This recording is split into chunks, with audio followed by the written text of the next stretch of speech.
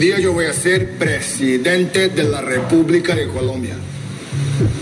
Y bien, me gano la vida haciendo negocios, así que pues fresco.